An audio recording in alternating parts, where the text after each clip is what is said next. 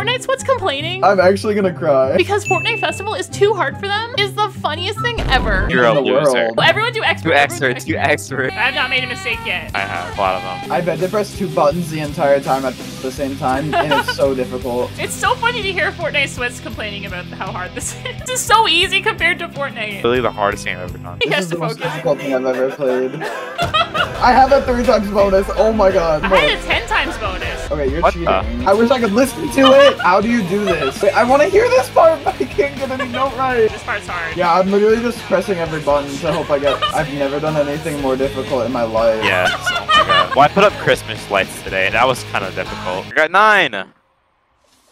Jesus, you're a in the loser. world. Whoa, Wally looks cool. Yeah, well, I don't feel cool. I feel stressed.